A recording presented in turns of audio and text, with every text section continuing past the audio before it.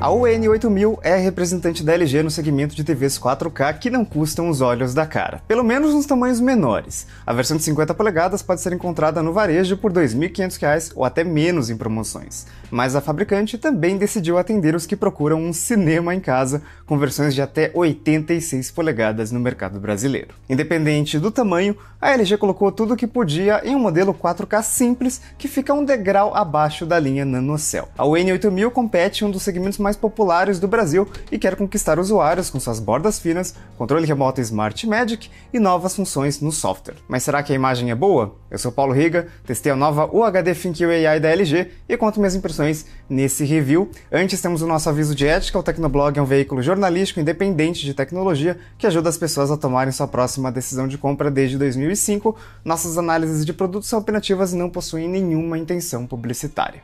Por isso, nós sempre destacamos de forma transparente os pontos positivos e negativos de cada produto. Nenhuma empresa, fabricante ou loja pagou o Tecnoblog para produzir esse conteúdo, nossos reviews não são revisados nem aprovados por agentes externos. A WN8000 foi fornecida pela LG por doação. O produto será usado em conteúdos futuros e não será devolvido à empresa.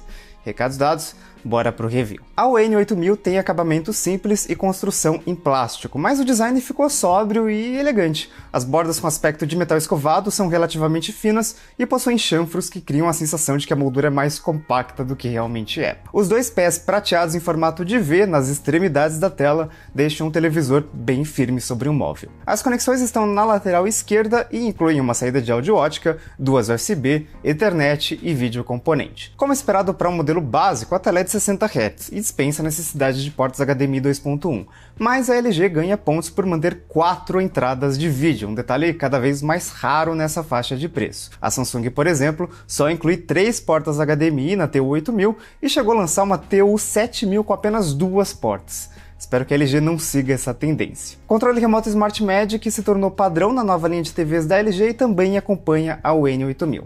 Ele tem muitos botões, não é tão compacto e exige um treinamento inicial de coordenação motora para navegar pelos elementos da tela com o mouse no ar. Um botão permite abrir rapidamente a Netflix, enquanto o atalho do Amazon Prime Video tem dupla função e também pode acionar a Alexa. A qualidade de imagem da UN8000 me decepcionou logo na primeira vez em que eu liguei a TV. A minha unidade de testes apresentou um vazamento de backlight muito visível que afetou seriamente a uniformidade do preto, gerando um incômodo sempre que uma imagem mais escura aparecia em filme ou mesmo durante transições entre aplicativos, quando a tela fica preta e o problema é escancarado. Diferente do que costuma acontecer em TVs de entrada com iluminação nas bordas, a UN8000 até consegue manter um preto uniforme nos cantos da tela, mas a minha unidade mostra uma nuvem branca em todo o terço superior. É uma falha que afeta muito a experiência porque pode ser facilmente percebida por qualquer pessoa comum. Mesmo considerando a faixa de preço, o problema não deveria ser tolerado pelo controle de qualidade da fabricante. Em outros pontos, o painel da UN8000 não entregou nada muito além da obrigação, ainda mais sabendo que essa não é a TV 4K mais barata da marca. Existem ainda os modelos UN7310, o UN7300 e o UN7100 que estão abaixo dela e têm painéis diferentes. O brilho é mais forte que a média do segmento, mas o contraste é prejudicado pelo nível de preto que, além de não ser uniforme, não é muito profundo, apresentando tons mais acinzentados do que o esperado. O volume de cores é mediano, deixando um color banding bem pequeno, mas que pode incomodar os mais detalhistas.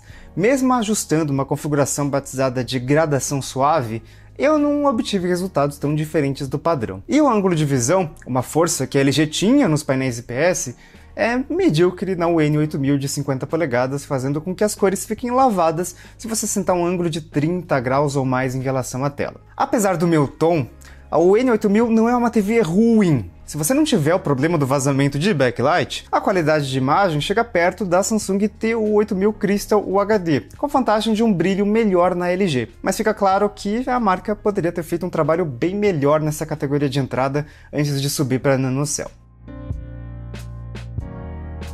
Os alto-falantes de 20 watts ficam dentro do que eu espero para uma TV sem grandes pretensões sonoras. O ponto negativo é a baixa presença nos graves, o que deixa o som magro e sem emoção em filmes de ação. Por outro lado, a LG se sobressai no volume, que é autossuficiente até para salas de estar grandes, um ponto importante para quem resolver adquirir a UN8000 em tamanhos maiores, de 82 ou 86 polegadas. Mas nesse caso, você provavelmente iria querer instalar um sistema de som de qualquer forma. Se as caixas de som não impressionam pelas baixas frequências ou pelos números, pelo menos a LG consegue melhorar um pouco a experiência sonora por software. No modo som IA, as vozes ficam bem claras em conteúdos tradicionais de canais de TV, como telejornais, enquanto as músicas mantêm a dinâmica sem distorções sérias, mesmo em volumes mais altos.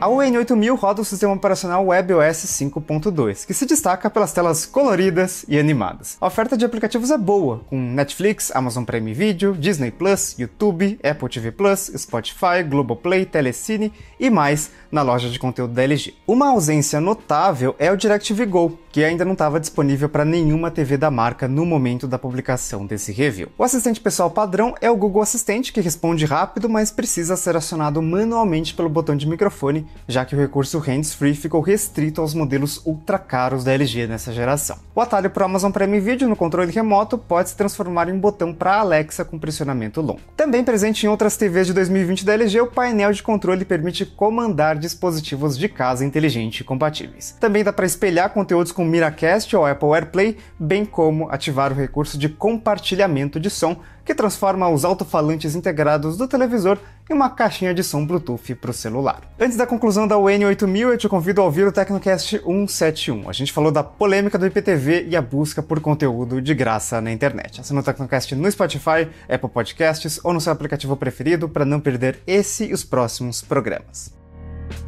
A UN8000 é uma TV satisfatória. O grande problema foi o vazamento de backlight na minha unidade de teste, mas a intensidade dessa falha pode ser menor ou maior dependendo da sorte do consumidor. O brilho é um ponto positivo da TV 4K de entrada da LG, assim como a boa oferta de conexões, o sistema operacional bastante completo e o controle remoto intuitivo. No entanto, a LG deixa uma pontinha de decepção pelo contraste, que poderia ser melhor, assim como o ângulo de visão, que era uma antiga força da marca e foi deixada de lado na UN8000 de 50 polegadas. Quem estiver migrando de um televisor LCD antigo com resolução Full HD deve notar uma bela diferença com o upgrade, mas quem já prestou atenção numa TV 4K de qualidade superior talvez fique um pouco insatisfeito. Em relação à Samsung TU8000, sua principal concorrente, a LG pode ganhar adeptos pelo maior número de portas HDMI, pelo brilho forte para dar conta de ambientes claros e pelos alto-falantes com mais pressão sonora. Eu só questiono a estratégia estranha da LG com a UN8000 no Brasil. Acima da versão de 50 polegadas, só estão disponíveis tamanhos muito grandes, de 75, 82 e 86 polegadas. Então é tudo ou nada. E esse foi o review da UN8000, TV 4K da LG, que tem seus defeitos, mas também tem algumas qualidades importantes que a tornam competitiva. O que, que você achou? Tem alguma dúvida? Comenta na comunidade.tecnoblog.net, dá um joinha para ajudar outras pessoas a tomarem uma decisão de compra. Eu sou Paulo Riga e fico por aqui. Até a próxima. Tchau!